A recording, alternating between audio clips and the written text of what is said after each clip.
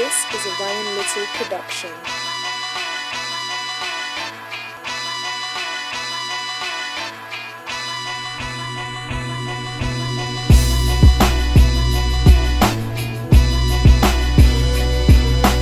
After uh, two hours, uh, 45 minutes, almost three hours, we're finally approaching Brasov.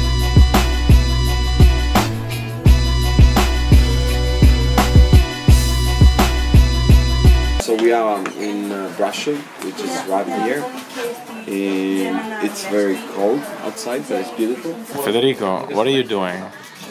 So, um, there is this friend of ours that is getting married in uh, Ireland in a couple of months.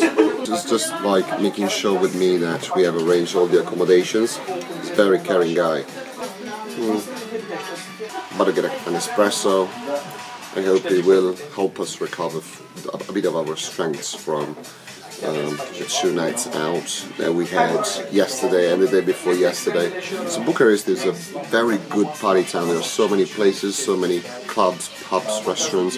Cops is nice, I mean the atmosphere, no? It's like they are friendly and they are truly uh, welcoming. I mean, the people that we met so far, all of them, were very, very friendly, helpful, genuinely interested in uh, uh, making us have a very good experience. When you travel, uh, that's an interesting thing is the people you, you meet Oh, your definitely. travel. It's not about the place, it's about the people.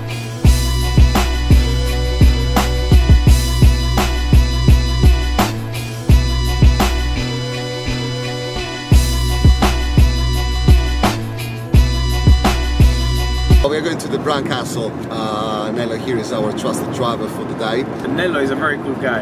We, li- we really like him, and he uh, speaks a Very good Italian. decent Italian. Yes. Who, who's Nello favorite singer? E Rosa Ramazzotti. Come è cominciata io non saprei, la storia è finita con te. e vorrei una cassetta con Eros Ramazzotti. E dice bambina eh, che non conosci. Non conosci io romeno, conosci tu ro- italiano, non conosci Eros Ramazzotti. Incredibile. Sì, sì, sì. Vogliamo vedere Dracula. E io credo che adesso dormi. Ah, perfetto. Ok.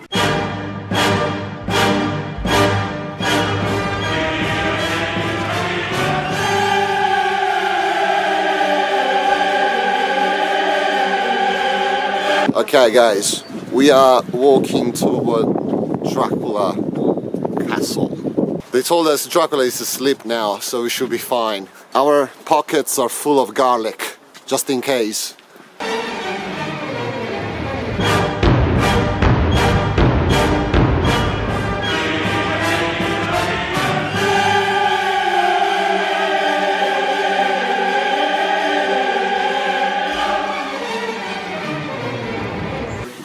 Most likely we found the right passage.